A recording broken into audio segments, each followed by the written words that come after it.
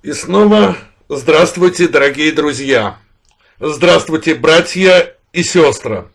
Главной темой данного видео будет проделанное своеобразное расследование по тем событиям, которые сейчас происходят в Армении.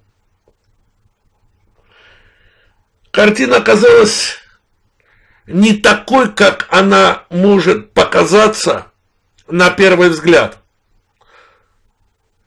Ситуация в Армении оказалась слишком многослойной.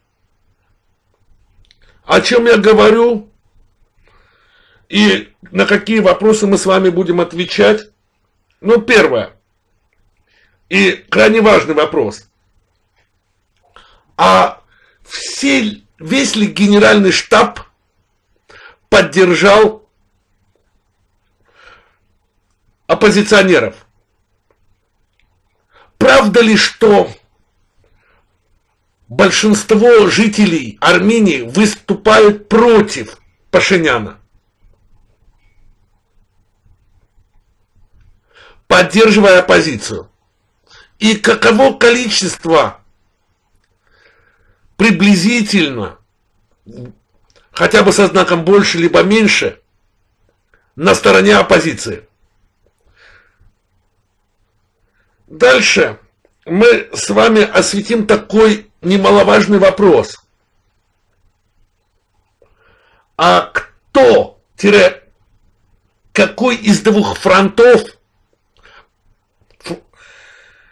Пашиняновский или оппозиционный, более пророссийский на данный момент? Вопрос тоже крайне важный. Также по неволе мы, возможно, коснемся и других вопросов. Я же осветил наиболее актуальные вопросы по ситуации в Армении. Потому что от этих вопросов зависит очень многое касательно будущего Армении. Не так ли? Ну что ж, приступим к расследованию. Тем более оно у нас будет крайне обширное. И начнем, те, пожалуй, с первого же видеоролика. Вот это видео. В момент прослушивания данного видео я буду периодически его останавливать, тем более оно очень занимает достаточно продолжительное время, как вы видите. А смотреть нам его придется до конца. Я буду периодически останавливать и вносить свои коррективы. Ну а теперь начинаем. Приступаем.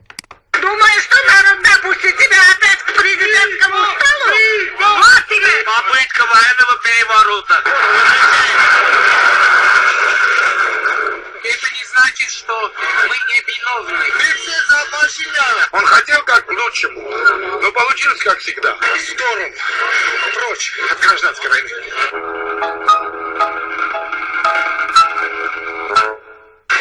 Я Алексей Романов. Это Ереван, Армения. Что сейчас происходит, скажите? Попытка военного переворота, э, нарушение конституционного строя. Э, только что наш премьер-министр призвал народ, если мы его поддержим, выйти на улицы и поддержать конституционный строй. В чем заключается на сегодня попытка военного переворота? Армии в городе нет. Армии в городе нет, но они предупредили. Типа, если что, мы, вы должны подать в отставку. А это насильственная отставка, поскольку народ выбрал премьер-министра легитимным образом.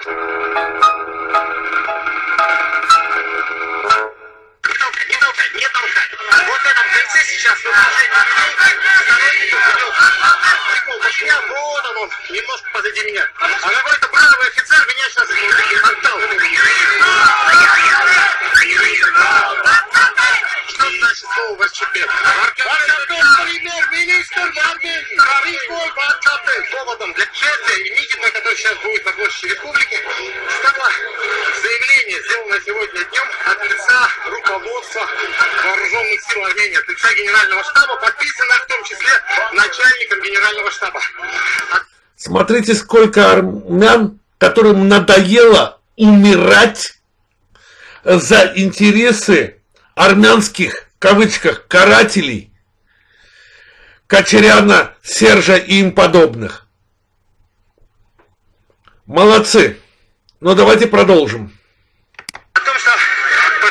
Должен уйти в отставку. Буквально через несколько минут после этого Пашинян назвал а, это попыткой государственного переворота и призвал людей выйти на улицу, поддержать его. А они сейчас строят себя э, невиновными и стараются вот э, э, бросить они, на людей. А, ну, эти генералы. Генералы хотят свою вину за проигранную войну переложить на людей. Да. Эти гева- генералы, да, вот такие генералы, да, ага, они все э, коррупционеры. Они вот 30 лет жрали весь это, э, жрали весь это самое, бюджет военный, да. У каждого есть свой особняк, а каждого свои рабы там. Рабы. О рабах здесь, видимо, прежде всего человек говорит о Манвеле, тушенке, у которого действительно люди сидели на цепи. Рабы. Все правильно. А остальные генералы молчали. То есть, видимо, были с ним заодно. Не так ли? Продолжаем.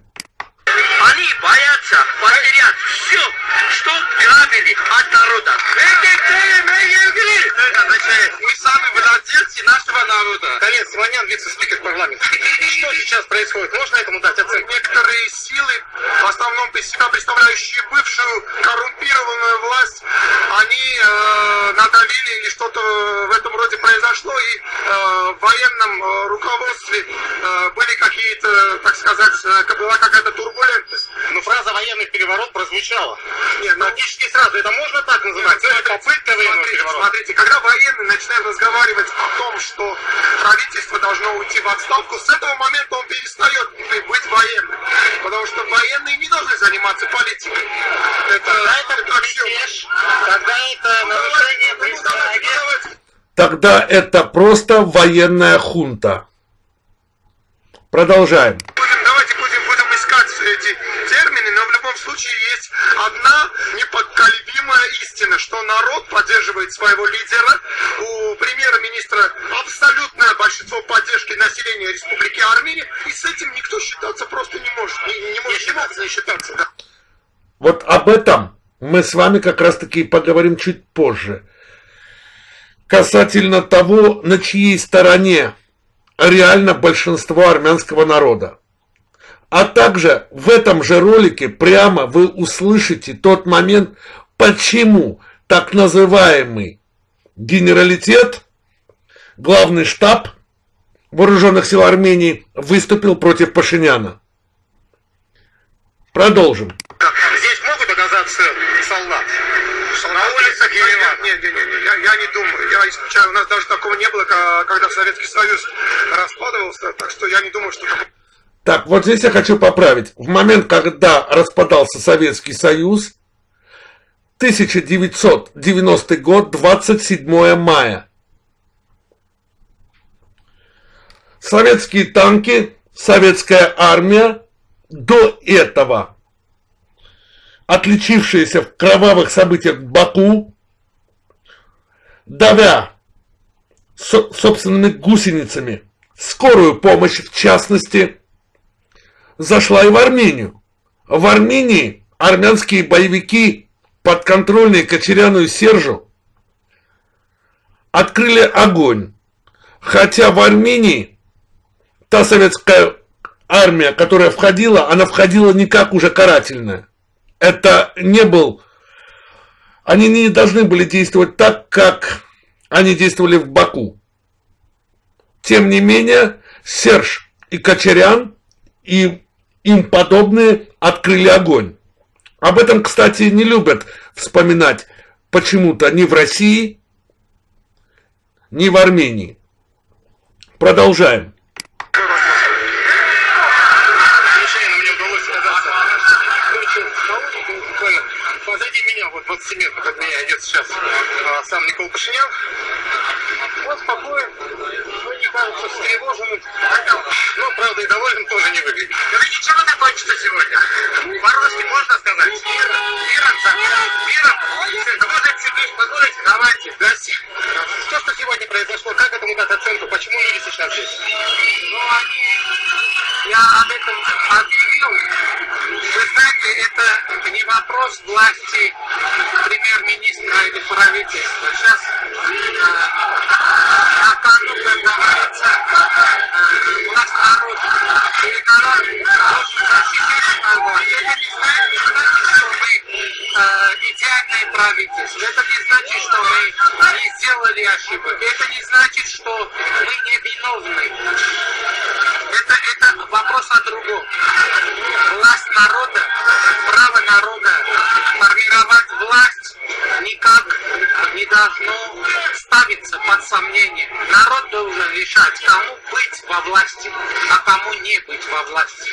Но военные сейчас реально пытались, как вам кажется, попытались а, взять власть в свои руки или привести каких-то ставленников? Или это что-то все-таки не столь масштабное с стороны? Ну, а, и, и вы знаете, я пока не могу дать оценку, но я думаю, что реакция народа а, уже воспрепятствовала этому. Они, наши военные тоже, они граждане этой страны, они сыновья этого народа, они наши братья, они не враги, они даже не противники. И должен народное единство, единство должен восторжествовать вокруг народа. Военного переворота не получится, его не будет. Нет, нет, не получится, не будет. Кончится все Миром, миром. И. Мы вместе решим, что сделать.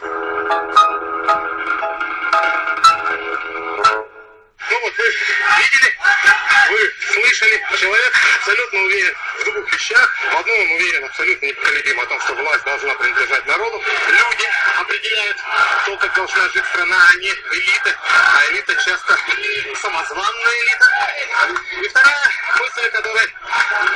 тоже говорил уверенно, но здесь он и не мог иначе сказать, то, что все кончится мирно, и что вот эта демонстрация готовности отстаивать выбранную законную власть, она остановит любые попытки что-то сейчас совершить в неправом поле. Если сейчас, вот здесь, на площади, которая напротив Дома правительства, куда все направляются, соберется по-настоящему много людей, то это будет по-настоящему четко заявленная позиция армянского общества.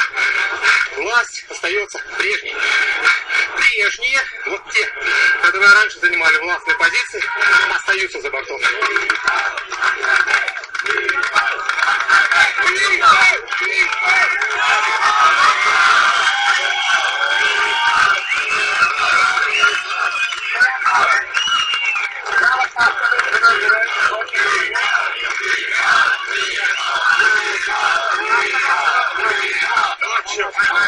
Взаимной нафте получилось, что опрокинули все ресурсы дальше.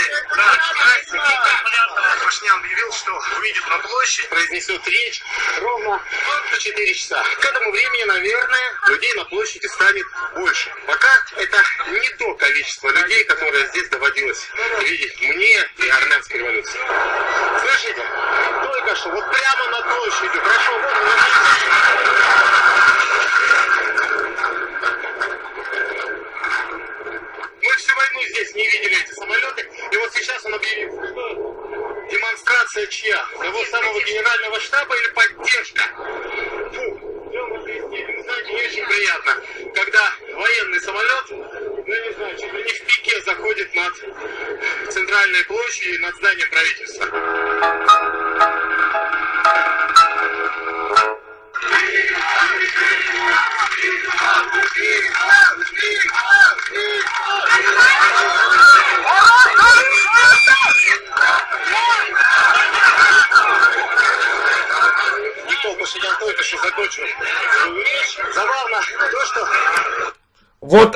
уже первый ответ в отношении численности людей, которые пришли поддержать своего премьер-министра. И их далеко не мало.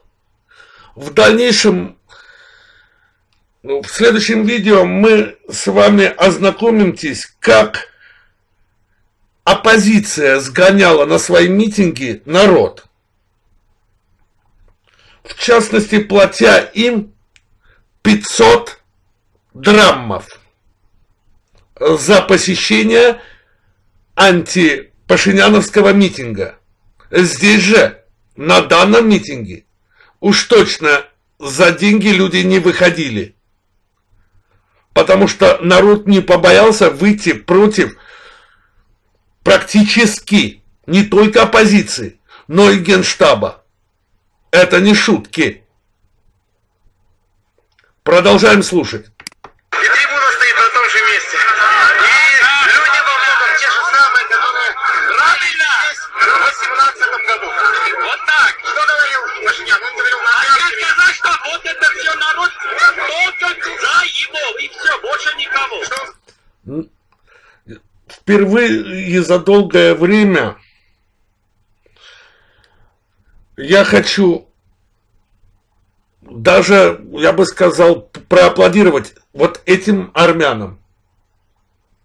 Потому что это реальные люди в Армении, которым надоел армянский радикализм, которые хотят жить, а не кричать о великой Армении и прославлять только себя любимых, вознеся себя до небес.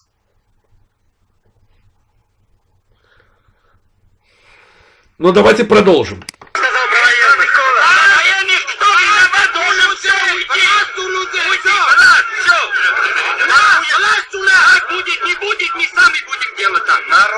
Народ вот это все, вот это что Народ что нет. Примерно такие митинги, ну, может быть, чуть меньше по количеству людей собиралась сейчас контрреволюция. Попытки Так, чуть меньше, то есть уже меньше, обратите внимание. Плюс, как я сказал, в следующем видео я покажу, как так называемые оппозиционеры сгоняли народ к себе на свои митинги. Мы же продолжаем. Мы же продолжаем. второй Карабахской проигранной сравнивать уже, получается, даже не столько количество людей, которые приходили на площадь, а то, с какой скоростью сторонники оппозиции или власти могут мобилизоваться. Сейчас время, вот, на часах, 5 часов. О том, что люди должны выйти вот сюда на площадь, прийти вот сюда, было объявлено в районе часа или даже половины второго. То есть за 4 часа совершенно внезапно вот эти тысячи тысячи, тысячи людей здесь оказались. Оппозиция так делать не может. Перевес сил на стороне людей. Вы сами видите, столько народу. Навряд ли они обмануты. Навряд ли. Они как раз таки, я бы сказал, у них произошло некое прояснение. Люди не хотят терять своих детей на ненужной войне. Тем более никто ее не объявлял Армении, не объявлял армянскому народу, не объявлял армянам, проживающим в Карабахе. Азербайджан просто возвращает землю. Землю. И это, вот эти армяне поняли. И их достаточно много. Этих армян сейчас будут оскорблять, что их всех, видимо, что это, что все они куплены за турецкие лиры или за азербайджанские нефтедоллары. Половина Еревана куплена. Думаете, что говорите? Вы оскорбляете свой народ. Те, кто об этом посмеет заговорить. Продолжаем слушать. Поддерживает законную власть. Я считаю, что это серьезный сигнал для стороны народа Армении, что ничего в настроениях армянского народа не изменилось, поддержка по отношению Никола Пашиняна. Ну, конечно, не прежде, есть какие-то э, разочарования, но ну, объективно, субъективно, не знаю, но в любом варианте он э, пользуется большой поддержкой со стороны. А вот тут буквально в полутора километрах сейчас стоят а, сторонники оппозиции. У них свой митинг вот под стенами оперы. Генерирующая сила этого митинга и той, и того митинга, сила совсем разные, понимаете? Потому что там все-таки финансовая составляющая есть, по, по моему мнению. О финансовой составляющей мы как раз-таки и поговорим. Того, другого, оппозиционного митинга. Продолжаем. А тут генерирует всю энергию, которая здесь вот образовалась, э, требования народа на справедливое э, существование. 10, 20, 30 на 100 генералов, это не армия. Наши рядовые солдаты и сами, а, они а, тоже уже а, видят, что творится. И а, здесь у нас в Армении некая ситуация, которая близка к тому, что армия сама изнутри уже взорвет- взорвется, потому что верхушка армия и а, средний офицерский состав и рядовой состав, а, у них нет связи как будто. Высший офицерский состав, генералитет, как будто связь с реальностью потеряли. Никак! Марчаты! Вы все за Пашиняна!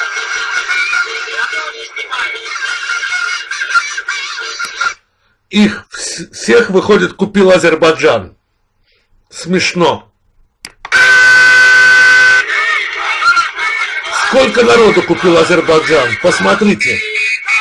Так получается.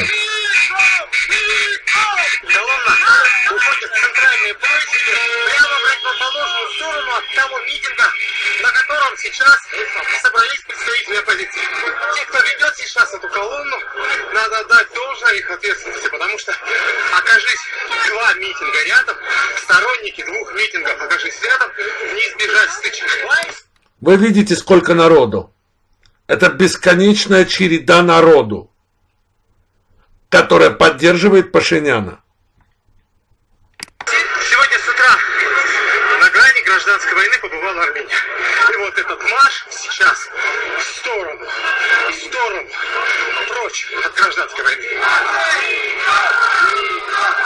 Главная причина того, что произошло сегодня утром, того, что происходит сейчас, это вторая Карабахская война, в которой Армения потерпела поражение. Этим поражением попытались воспользоваться прежние власти, которые были свергнуты во время революции. Они проводили многочисленные митинги, которые, правда, раз от раза становились все менее многочисленными. Последней точкой, последним крайним рубежом для контрреволюции стало заявление Роберта Кочеряна, одного из самых ненавидимых политиков здесь в Армении. Роберт Кочерян убийцы как азербайджанского народа, так и своего же армянского народа. Это важный момент. Я уж не говорю про его грабительские схемы. Заявил, что он возвращается. И люди, которые в какой-то момент еще сочувствовали контрреволюционной оппозиции, сомневаться перестали. Нацик Кочарян, убийца! Престол! Думаешь, что надо допустить тебя опять к президентскому столу? Вот тебе! Простите за жест, это сказал, показала ваша армянка, тоже купленная за нефтедоллары. Продал нашу страну! Продал всех этих наших ребят, которые, у которых убивали там 30 лет ничего не делали, кроме убийства, кроме... э, мародерства. И вот Обратите внимание, эта женщина, она даже является явной националисткой, но тем не менее даже она понимает, что новой войны не надо. После того, как официально объявил о том, что он возвращается в политику, а, соответственно, намерен вновь стать руководителем страны, ну, вы только что слышали, как относятся к этому Армении, стало понятно, что у оппозиции, контрреволюции времени совсем чуть-чуть. Количество людей на митингах падает, болезненный шок эмоциональный, вызванный поражением в войне, который давал им какие-то шансы, проходит, им придется пойти на какие-то экстраординарные вещи. Всерьез обсуждался план покушения на Пашиняна.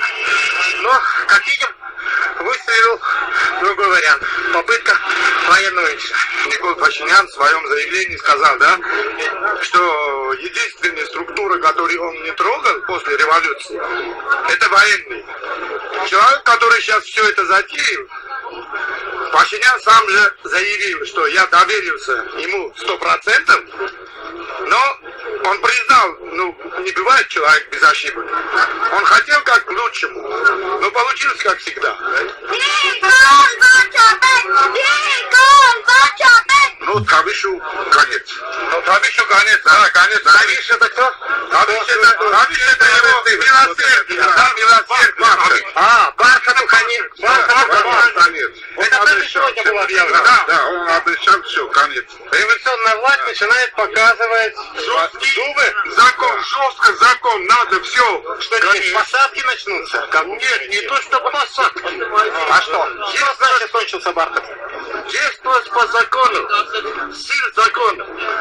Хватит это митинги, хватит это все э, демонстрация или что-то. Формально в заявлении военных, в заявлении генерального штаба сегодняшнем Вот теперь внимательно. Это важный, крайне важный момент. Почему Генштаб решил выступить против Пашиняна? Внимательно. Романов, как бы мы к нему не относились, но просто так он об этом не говорит. Послушаем. Сказано, что они обиделись на несправедливое отношение к первому заму главы Генштаба, которого уволили якобы за то, что он как-то там непочтительно то ли высказывался, то ли даже и не высказывался в адрес Пашиняна. На самом деле, скорее всего, именно сегодня выступление армейских произошло по другой причине. Потому что именно сегодня, буквально за несколько минут до того, как было опубликовано вот это мятежническое заявление руководителей Генштаба, на заседании правительства было объявлено, что в Армении создается рабочая группа по глубокой коренной реформе армии. И любому генералу старой формации стало понятно, что его положение отныне не так надежно, мягко говоря, как раньше. Давайте остановимся. Вы слышали причину? Не Искендеры, не отношения Пашиняна к России, никакая либо другая причина, не увольнение кого бы то ни было с поста. Нет. А речь в заявлении Пашиняна о необходимости проведения реформы. Интересно. Интересно.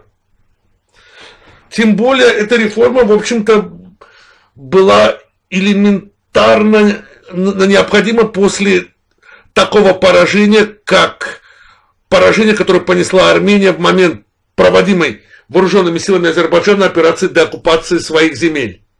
Не так ли? Ну, это первый момент. Мы с вами уже можем четко говорить и есть на кого ссылаться в отношении того, почему вооруженные силы Армении, часть этих сил, об этом мы тоже с вами поговорим, поддержали антипашиняновскую позицию. Но сейчас мы немножечко переключимся к другому разделу, к другому вопросу. Как говорилось в данном видеоролике, как говорил ваш слуга, армянская оппозиция, которая также собирала митинги, использовала своих основных спонсоров, олигархов, которые для того, чтобы вызвать народ на антиправительственные митинги, готовы были платить рабочим за присоединение к антиправительственным митингам. 500 драм. Не верите? Ну, тогда мы с вами переходим к другому ролику. Кстати, я до недавнего времени крайне отрицательно относился к данному армянскому блогеру. Неоднократно мы с ним пересекались, и у нас происходили, можно сказать, даже диспуты в свое время. Это Armenian Stream. Думаю, что в скором времени и его назовут купленным за нефтедоллары. Ну давайте послушаем. Правда, речь будет идти на армянском. Тем не менее, давайте послушаем данный ролик. Вопрос простой. Почему ар... жители Армении вышли на антиправительственный митинг? И даже по их реакции уже многое можно будет понять. Давайте послушаем, тире посмотрим.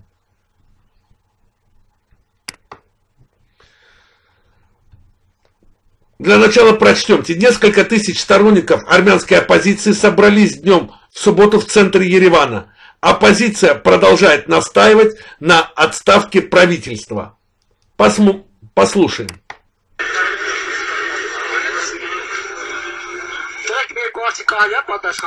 И обратите внимание, на оппозиционном, вроде бы пророссийском митинге вопросы и люди будут говорить только на армянском, даже между собой. Продолжаем. Люди растеряны. Ancak?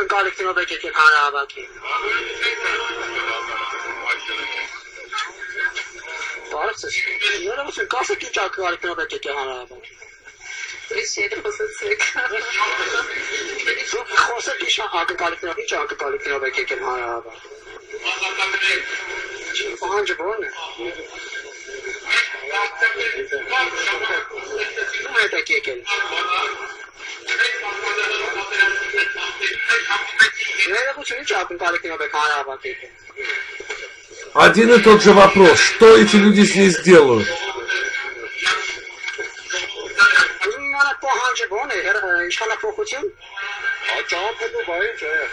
Ну, давайте остановимся. Вы, в общем-то, по-любому уже поняли, что на данный вопрос армяне, которые пришли на оппозиционный митинг, отвечать не хотят.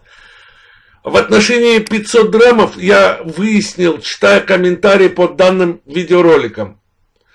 Потому что один из армян четко заговорил о том, что деньги были именно проплачены и платили именно 500, я подчеркиваю, 500 драммов.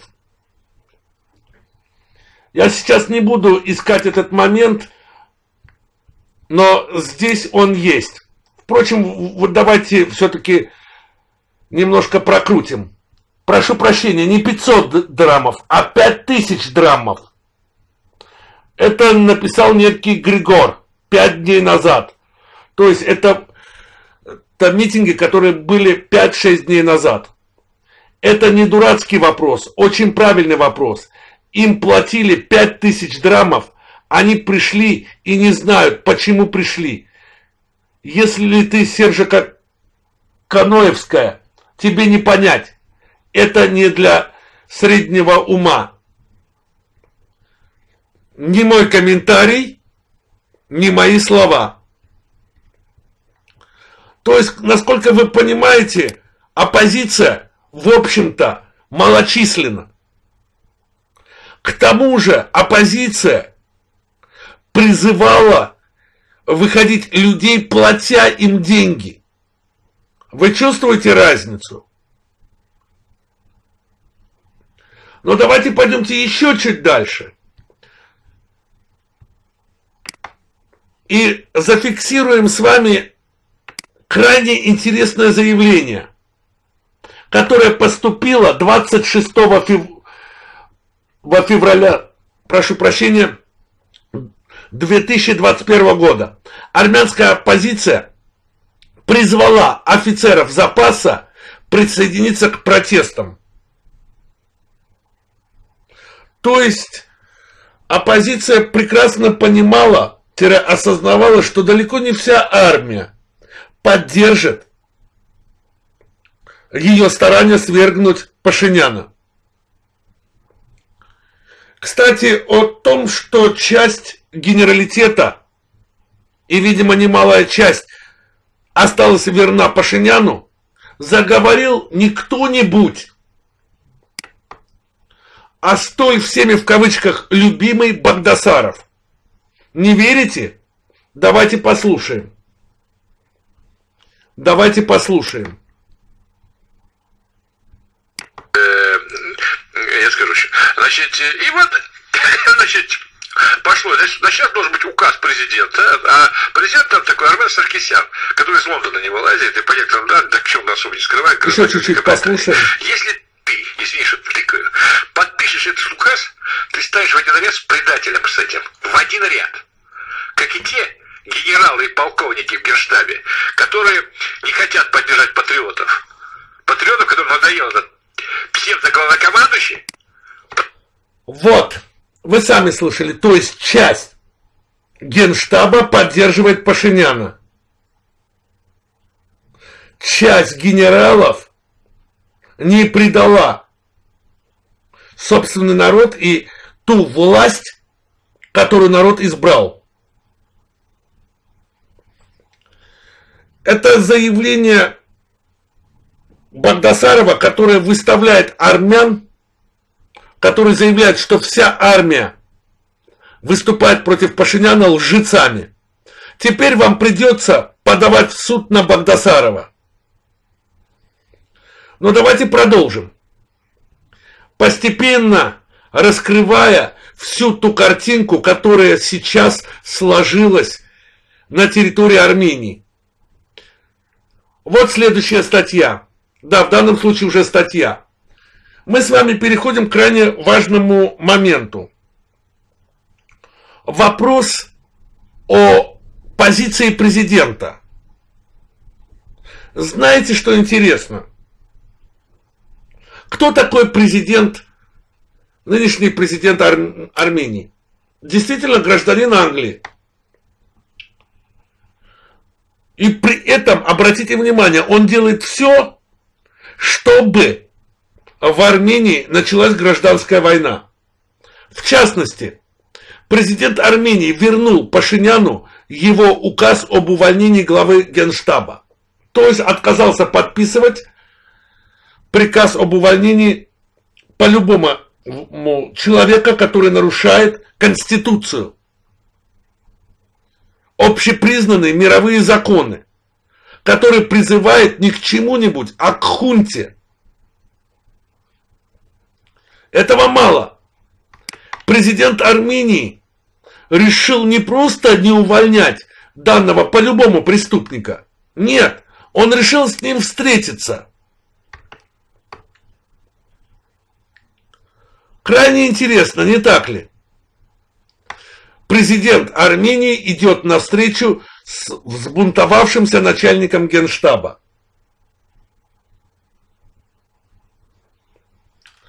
Что можно сказать, дорогие друзья?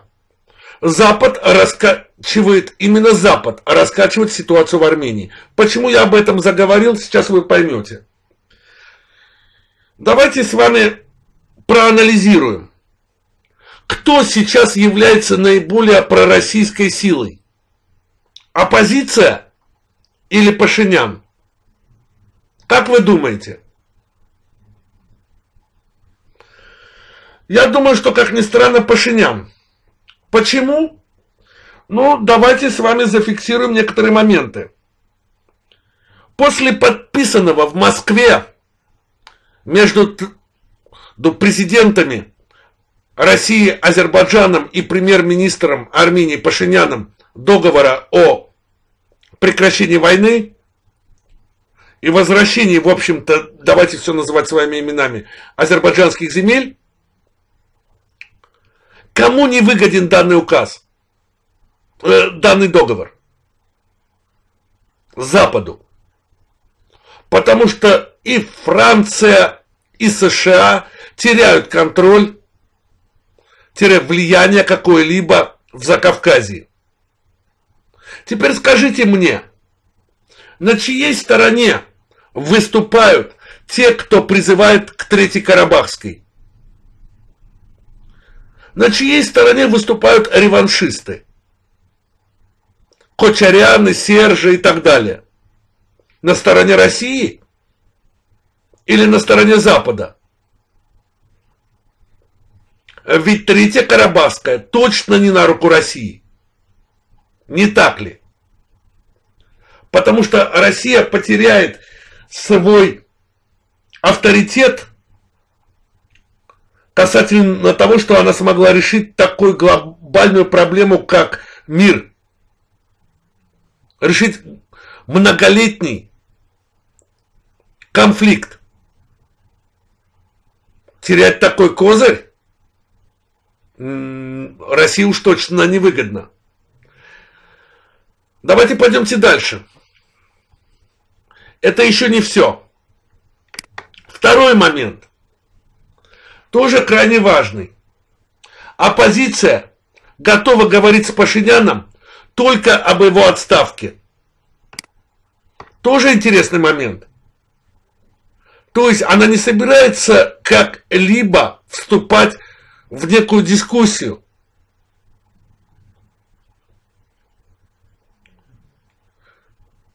Такая однобокая позиция означает одно. Им не главная правда. Им главное выполнить приказ тех, кто заказал весь этот балаган.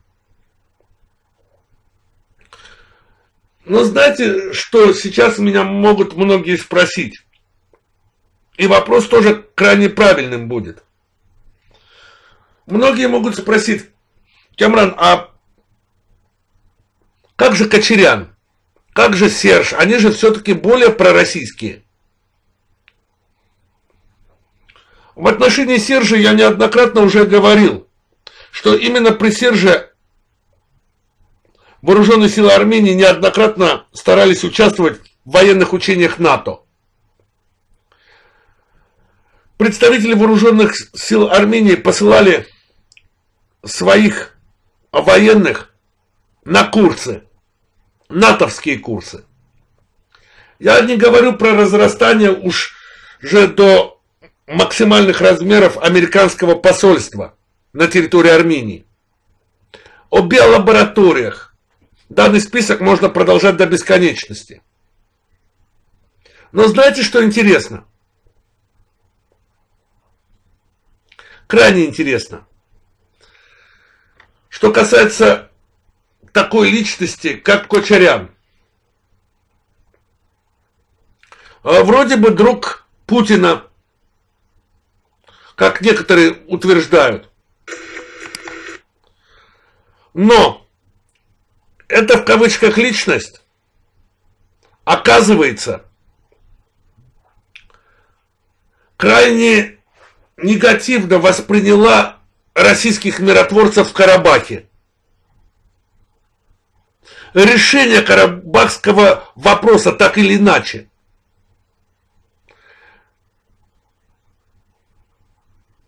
То есть она за продолжение крови. Давайте прочтемте, что он заявил. Я не буду пускать данный ролик, потому что там речь опять заходит на армянском языке. Вы сами можете прочитать его высказывание. Нынешние власти Армении превратили республику из военно-политического союзника России в ее протекторат. У командующего российским миротворческим контингентом в Нагорном Карабахе генерала Рустама Мурадова больше роли в обеспечении безопасности Армении, чем у верховного главнокомандующего вооруженными силами республики. А что в этом плохого? Э, ведь, по идее, как раз-таки Кочарян должен был настаивать на этом. Он и так все распродал России. И вдруг его так сильно злит, что сейчас влияние России в Армении возрастет. Что его должно ужасать? Но для тех, кто не верит, что он сделал данное высказывание, давайте все-таки я запущу данный видеоролик. Давайте послушаем. Это именно для армян. При этом, как вы можете зафиксировать, ролик вышел на канале Armenian Stream 29 января 2021 года. 29 января. Про... Послушаем. Айсур փաստացի Ռուսաստանի պրոտեկտորատն ենք հարավային Կովկասում, որտեղ մեր անվտանգությունը ապահովում է Ռուսաստանը։ Ուրեմն այս իշխանությունը ռազմաքաղաքական դաշնակցի կարգավիճակից հզոր երկրի մեզ դարձրել է այդ երկրի պրոտեկտորատը։ Սա է փաստը։ Այսօր գեներալ Մուրատովը ավելի մեծ դերակատարություն ունի անվտանգության հարցերում, քան Հայաստանի Հանրապետության Գերագույն գլխավոր հրամանատարը։ Դա նորմալ է։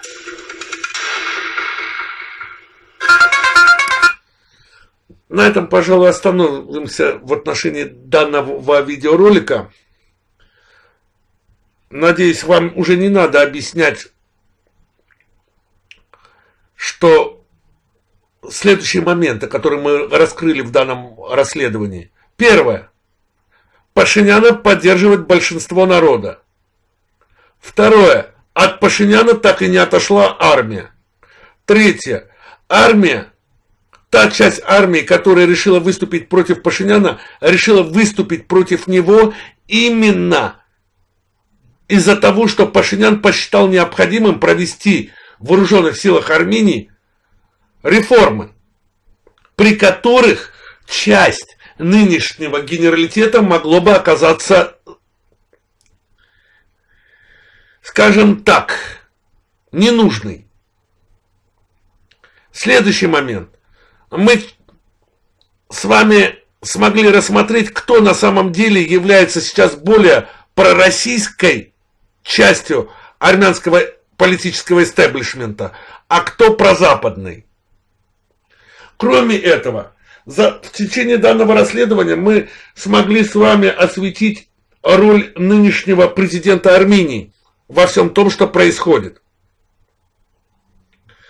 Надеюсь, вам понравилось данное расследование. Ну и последние два видео, которые я просто хочу вас познакомить. Это видео, которое вышло у Руслана Курбанова. Агенту Турции в Армении грозят ликвидацией.